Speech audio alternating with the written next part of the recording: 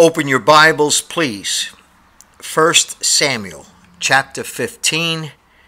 We'll, we'll look at uh, verses 1, 2, and 3. 1 Samuel chapter 15. Oh, how I love the Word of God. You know, it's uh, I've, I've esteemed His words, Job said, I've esteemed the words of His mouth more than my necessary food.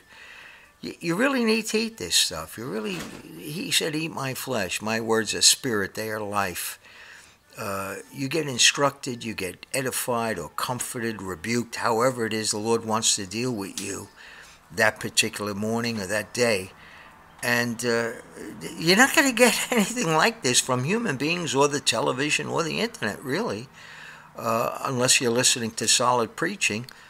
Uh, and you need to hear stuff. You need to hear truth. You need to now more than ever, this country needs Jesus more than any other time in its history, maybe back up to the outset of the revolution when we were fighting and struggling to become a nation. And this nation is drifting far, far apart. I wonder how much longer it'll be before the axe falls. And uh, brothers and sisters, don't get caught up in the distractions of this world especially politics. For, for whatever reason, a lot of God's people get interested in politics, and I know a lot about politics. I was in it. Uh, it's a web. It's like a fly being caught in a spider's web. Watch out. I remember a couple of weeks ago there was the big thing about uh, McCarthy, whether he was going to be named Speaker of the House, and for a whole week there was this drama because he kept losing the vote, not getting enough votes, and everybody was always going to.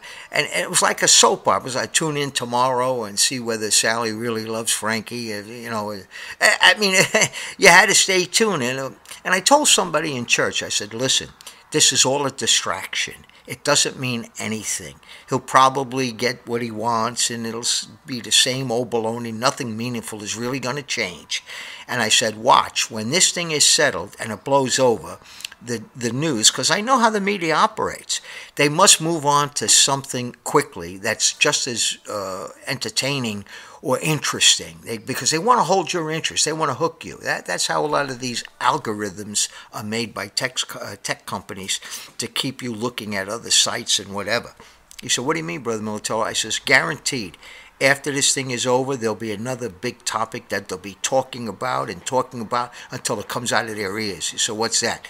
The debt, the debt crisis, the deficit, the, the money. The Treasury's going to run out of money, and they got to raise the debt ceiling, and it's going to be critical. And the Republicans and the Democrats, of Biden, have to get together on this, and that'll go on for quite a while. And I guarantee you, when they reach a deal, because they're uh, eventually going to reach some sort of a deal, there'll be something coming along immediately. That'll a drama it's like a drama and it'll get your attention there. So it's one thing after another. A lot of people don't realize this. They get hooked on it's like being hooked on a soap opera or going to the dog track and betting on the dogs as they run around the track chasing a rabbit that they're never going to catch. They run around the track they never get the rabbit but they seem to get close. I don't know why i got off on that thing. Let's go 1 Samuel 15, first verse. Samuel also said, Oh, I'm entitling this, sorry, I didn't give it a title genocide. Genocide. You should know what genocide is it's the elimination of a race, a whole race of people, a whole nationality. The Jews. Hitler practiced genocide on the Jews. At the turn of the century, not I guess around World War One or just before, I got to look it up the exact date, but the Turks practiced genocide on the Armenians. Turks and Armenians hate each other. Uh, Arabs hate Iran because they, they're not Arab. They're, they're Muslims, but they're not Arab. And there's a tremendous enmity between Iran and Saudi Arabia. it's like in the animal kingdom, the cobra and the mongoose. These are great fighters. They hate each other's guts. And that's why I tell people history is so important. Because you got to know the history sometimes of these countries. It, it explains their actions, who hates who and why, and how far back does that thing go. And you, by reading the history, you could also discover what's going on more with Ukraine and Russia. And not so much the hatred there, but Russia thinks that Ukraine really belongs to them that, that being Ukrainian is like being uh, half Russians. It's like your half brother. So uh, that explains a lot of that. But he says here in verse 1 Samuel also said unto Saul, the, the Lord sent me to anoint thee to be king over his people, over Israel. Now therefore, watch, hearken thou unto the voice of the words of the Lord. Notice words, W O R D S, the King James Bible words. People can use, well, the Word of God, the Word of God. Yeah, I have the words of God. I've got the Word of God in my heart, and more than that, I've got the words of God uh, the words of God from the King James Bible. They're pure and they're holy. Uh, that's why you're supposed to put them in your heart. And uh, he says in verse 2 Thus saith the Lord of hosts, I remember, there's the Lord, he's got a long memory. I remember that which Amalek, that was uh, Esau's grandson, Jacob's brother Esau, his grandson, was Amalek, did to Israel how he laid wait for him in the way when he came up from Egypt. When they crossed the Red Sea into the wilderness, Amalek attacked them and attacked the the the hind part, the back part of the Israeli caravan, you might say. And uh, now go. Boy, the Lord was so angry with that. Now, Am- Amalek is a type of the flesh, brothers and sisters. It shows up as the first people to attack Israel after they get out of Egypt. So what happens when you get saved and you're delivered from Egypt, because Egypt is a type of the world, you know that. And what happens shortly after you get saved? Amalek attacks you, and he attacks your weakest points. And what is Amalek? A type of the flesh. So, what does he want to get the new believer involved in? Fleshly, gross sins. He wants to discourage you immediately. He wants to get you thinking, am I really saved? If I'm saved, why do I still got this? Nothing changed here. This is still happening. What is this? See how he works? Now, verse, and by the way, Paul tells the Colossians, we're going to look at this more carefully about this issue. Verse 3 Now go and smite Amalek. This is commit. This is an order given to Saul. He's got a contract to kill, like the mafia boss. Here, we want this guy rubbed out. We want him to disappear. You're going to do it, or else you disappear. Okay? And you don't, if you're in the mafia or whatever, you're a soldier, you don't go, well, well I'll go home and talk to my wife, I'll pray about it. Or I got to just, no, you do it. now go and smite Amalek and utterly, utterly destroy all that they have and spare them not. Well, Saul did not, and that's why he lost the kingdom. But slay both man and woman, infant and suckling, ox and sheep, camel and ass. In other words, kill their livestock, kill their infants, everything, everything they're connected with. Brother Militello, doesn't God love everybody? what the?